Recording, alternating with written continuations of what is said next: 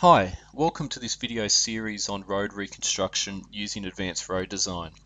The project that we will be working on was supplied to us by local government. This is very much a typical road reconstruction project which will involve some road resheeting, replacing the existing curb and channel, partial road reconstruction, remodelling a cul-de-sac and matching levels back into an existing intersection. As we are working on this design, we want to ensure that we're achieving suitable crossfalls and our driveways are going to work. The name of the road that we're working on is Alexandra Street. I've already created an alignment for the centre line of this road.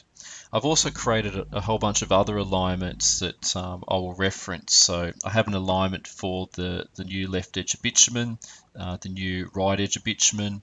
I have an alignment um, over the existing uh, footpath and alignment over the existing boundaries as well. It is important when, when doing a road reconstruction project that you create alignments out of these existing features uh, because you will be able to reference those while you're working on the design. Before I create the road object for Alexandra Street, I'm just going to quickly open up the template editor and show you the, the template or the typical cross section that I'm going to apply. So um, uh, we've got curb and channel on both sides, uh, footpath, some standard slope batters. Uh, at the moment, the sub base is, already, uh, is shown here, uh, running full depth across uh, each lane. Um, what I'm going to do just quickly is remove subgrade for each of those uh, sections between the center line and LEB and center line and REB.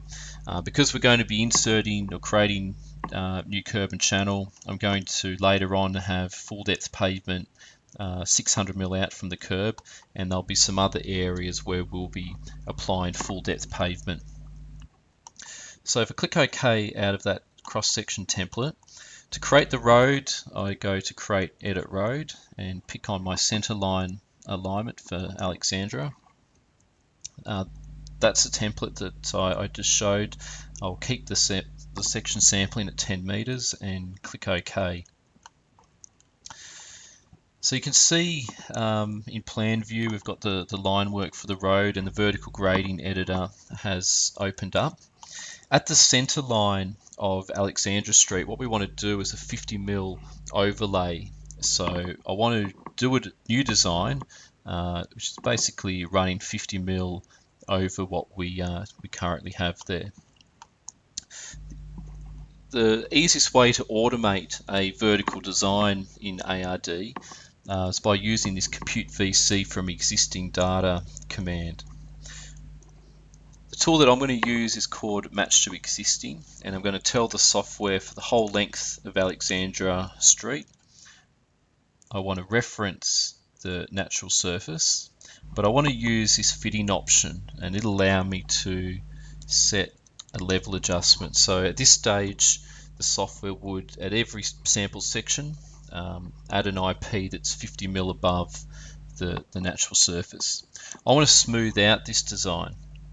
I can do that by specifying uh, cut and fill factors. So cut I'm going to leave at zero, but I'm going to put a factor in it of 0.01 and set a vertical curve length. So what the software is going to do here is smooth out my design within this tolerance and it's going to uh, to do that at a 50 mil level adjustment.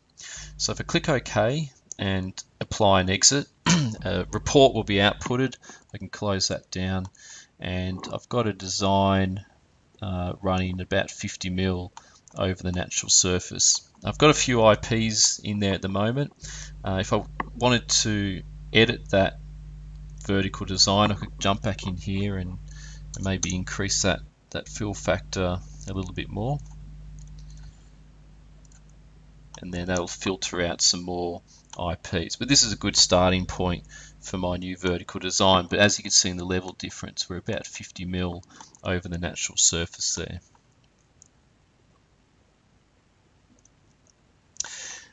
The next thing I'm going to do is create some strings for the, the new left edge of bitumen and the new right edge of bitumen. So I've already created some alignments uh, for those. I head over and run the create string profile command and I'll start off by selecting the left edge of bitumen alignment. Uh, there'll be no template applied uh, to this string. Um, I will be attaching a code or setting a code on my main road to reference the offset and level on this string. The section sampling by default is 10 meters, but when you're working with strings that are parallel to your main alignment, um, you can use this option called add other strings. So the sections will align with the main road section. So I'm going to tell the software to use the sections off Alexandra Street.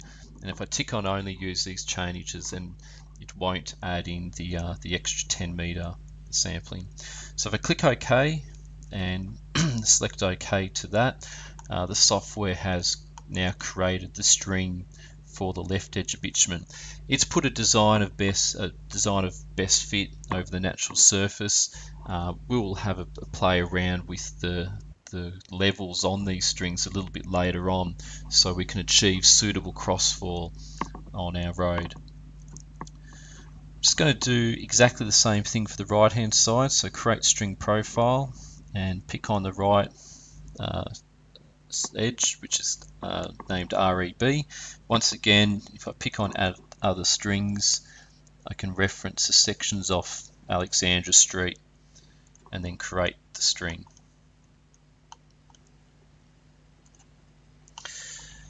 So although I've created strings, I need to tell the software that I want the codes on my road, uh, the LEB and the REB code, to adopt the offset and level of those strings. So if I open up a cross-section view here, um, when you open up a cross-section, you can actually show extra information. And what I'm going to do is run select other objects to show in cross-section view and tell the software that on all roads I want to display the alignment of LEB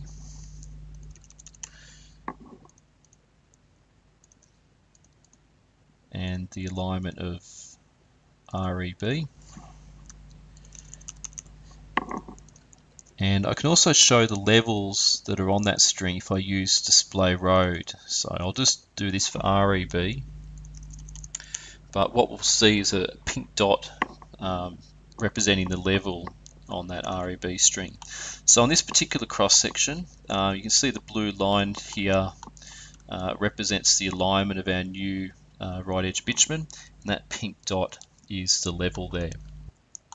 So in order to set a code to adopt the offset and level of a string, I need to go into the design data form for my main road and apply a variation. So if I head over to my variation uh, tools, there's one in here called set code offset and or levels to string. So I'm going to tell the software, grab the REB code for the whole length. The change offset and level method will uh, grab the REB code, uh, throw it onto the alignment of the string and adopt the level on the string. And that string is REB. So if I click on add update to that, you can see that um, that code has now been pushed out onto that alignment and uh, adopting the level I can create a copy of this variation and do exactly the same thing for the LEB and say that I want to change offset and level onto the LEB string.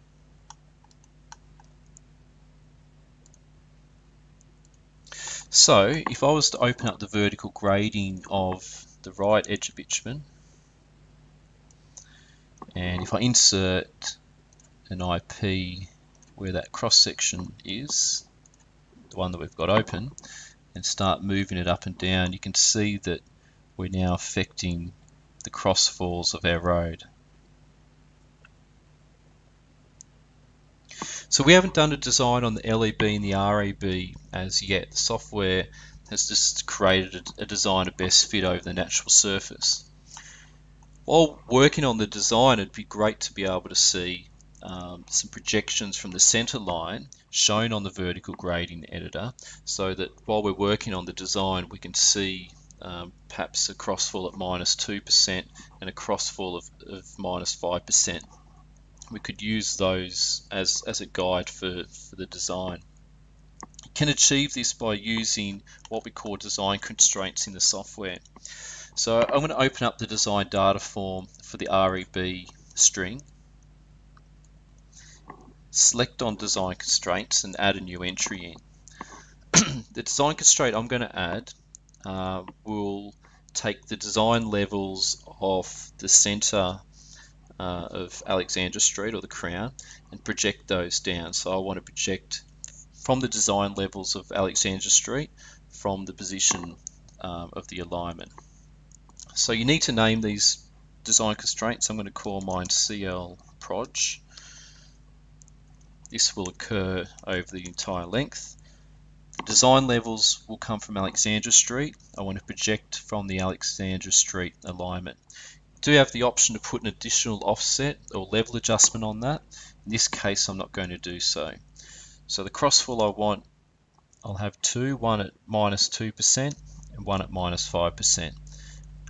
Pick the colors that I want these shown at on the vertical grading editor. Usually pinks and reds look pretty good. Um, at any time you can turn off these design constraints if they look a bit too messy in the VGE. So if I select on add update and close the design data form, you'll see some bands appear. So the pink band and the red band, that's a minus 2% and minus 5% projection from the center line. If I start changing the levels of my design, you can see that when I move my design within this band here, I'm achieving between minus 2% and minus 5% crossfall.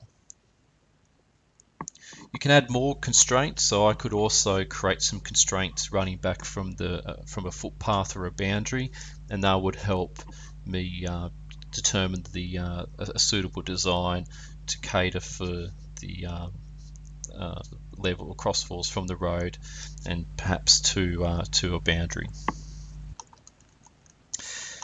You can automate a vertical design um, using these uh, constraints. Uh, there's a couple of ways to do this. Um, once again, if I go back into the Compute VC from existing data, I could run this constraints option and it would allow me to match some IPs, design IPs down to either one of those constraints. In this example, I'm going to use the reference line tool.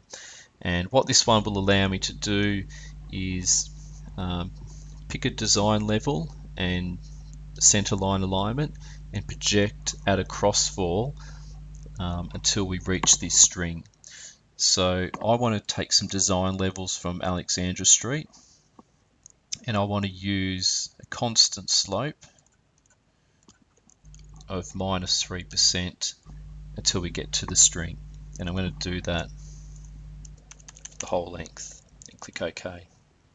So if I select apply and exit to that, you can see what we've done here is automated a design of minus 3% from the, the center line crown. I could use this as, as a starting point for a nicer design. I could have the software smooth out this design as well and I can do that by using this fit parameters option and I could say well, for the whole length of this design to smooth out and remove some IPs within this tolerance click OK apply and exit and then I've got a, a nicer design to start start working with so these IPs aren't locked. I can delete and, and edit them and move them around. You notice as I'm moving this IP around, the software is rescaling the vertical grading editor. Um, when I'm editing some IPs or moving them around, I often use this uh, rescaling option and, and turn it off. And so when I move an IP, the vertical grading editor isn't rescaling on me. So that's how you can set some constraints up on your uh, design string for an edge and um, use those constraints to um, achieve suitable crossfall.